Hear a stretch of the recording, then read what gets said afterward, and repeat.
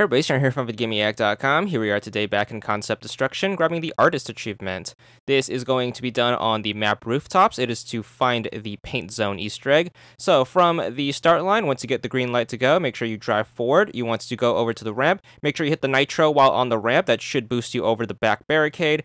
Once you clear said barricade, make sure you try to stick your landing. You should land on this little out of bounds area. Make sure you reorient yourself and then drive over here to the back right. There should be an arrow pointing you where to go. Just make sure you follow that arrow and then drive all the way back here. You should notice some paint cans as well as a paint tube and brush. Just make sure you drive up to that. Once you enter the zone, you should be good for this achievement. 15 gamer score, and that's all there is to it.